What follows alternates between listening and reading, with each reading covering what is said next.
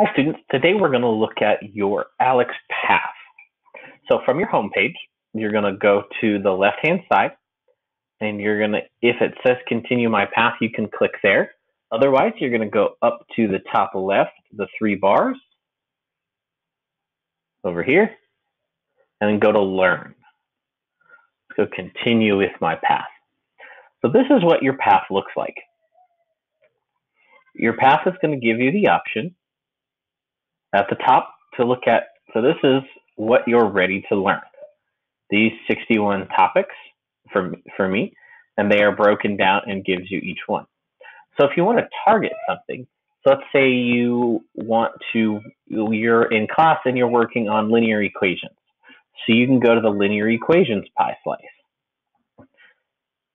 All right, and click on that. Um, go.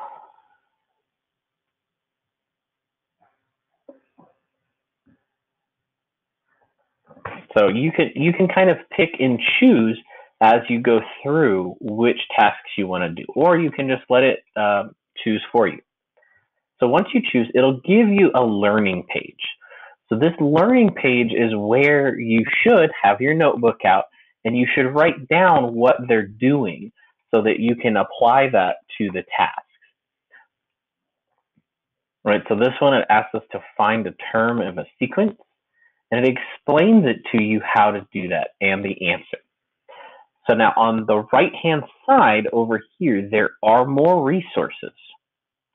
So if you go to the video button, there's a supplemental video of finding the nth term click down, there's a dictionary. So you can look up the, it'll be the underlined words.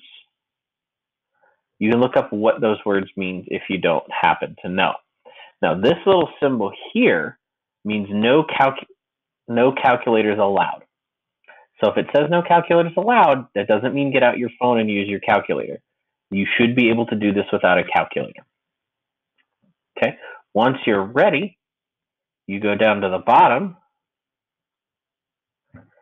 and you can click start and then you're into it. Okay.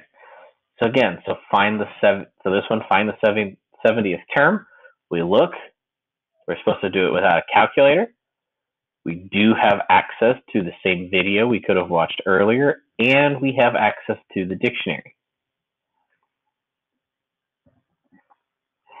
Now, as you're working through, if you get stuck, you can put in an answer that's not the correct answer, but you can check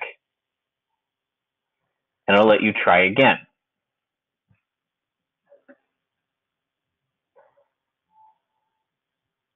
Okay, so if you get it wrong twice, it'll give you an explanation. Don't just go past it. Again, read it. If it's a different explanation than what you wrote down the first time, or if you didn't write it down the first time, write down the explanation. Um, it wouldn't hurt if you wrote down that exact problem and worked that through with them to get the correct answer.